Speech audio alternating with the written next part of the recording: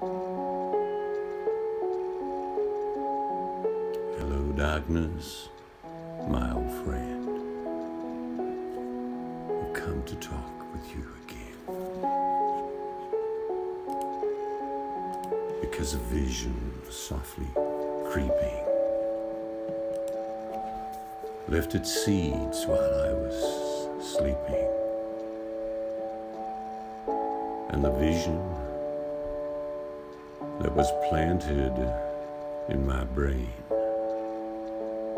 still remains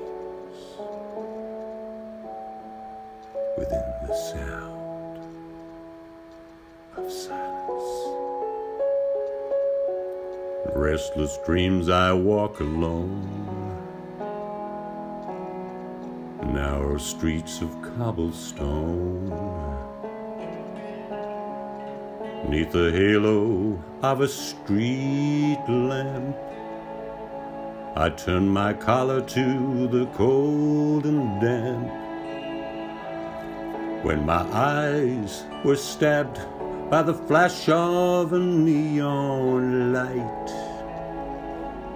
that split the night and touched the sound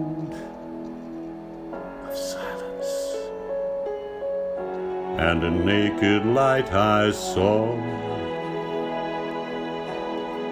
Ten thousand people, maybe more. People talking without speaking. People hearing without listening.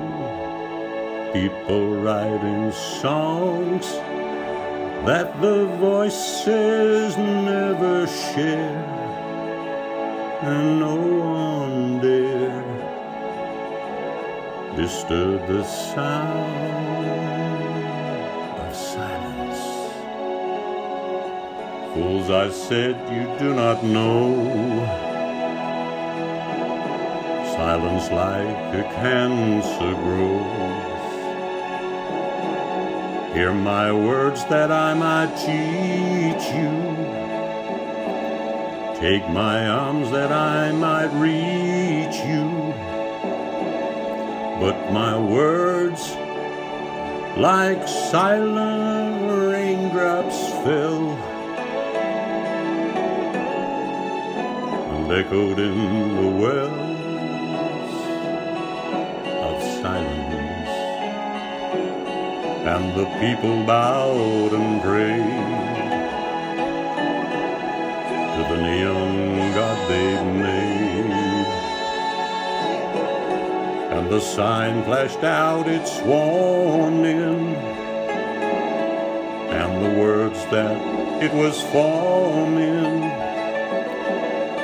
And the sign said the words of the prophets are written on the subway walls and tenement halls whispered in the sound